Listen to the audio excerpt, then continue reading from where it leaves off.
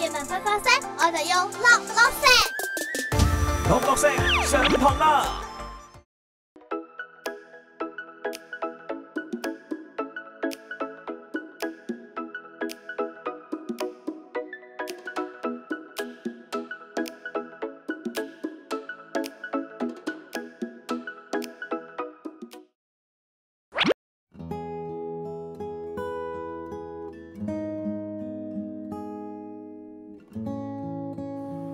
恩平燒餅呢個歷史呢，已經係有六百幾年㗎啦。以前啲燒餅呢，主要呢就係用喺呢方面啊，有兩方面嘅，一個就係結婚嗰時禮餅嚟㗎，仲有一個呢祭祖拜山攞嚟用啊。以前細個其實係好少嘢食，你就燒餅帶住佢翻學啊，其實以前係開心㗎啦。以前食嘅燒餅呢就好大隻㗎，最原始嘅呢就係冰肉啦。後嚟呢改良咗，做細咗，同埋品種又做多啲。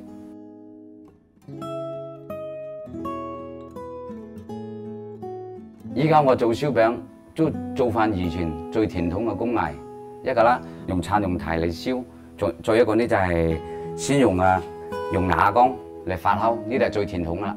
首先第一步，首先要選優質嘅糯米粉嚟嚟發酵。發好幾日，靚嘅一平燒餅，你要選嘅係十日嘅糯米嚟整。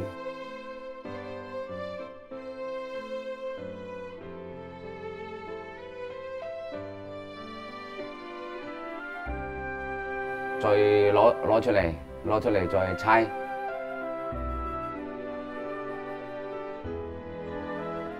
再下入不同嘅餡料。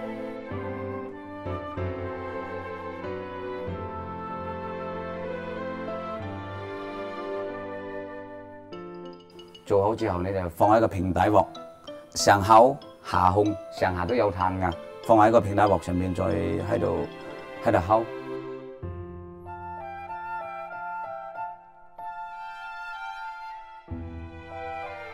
烤到一定嘅時間，轉咗顏色熟透之後，起鑊。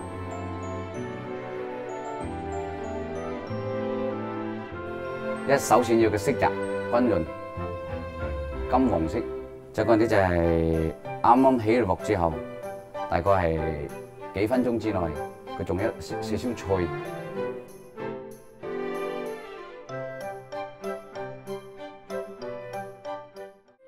將呢隻傳承嘅文化發揚下去，做出嘅產品得到客人嘅認可，呢方面係自己最開心嘅一件事。為粵文化發聲，我哋要落落聲。我係恩平燒餅嘅技藝製作人。梁瑤。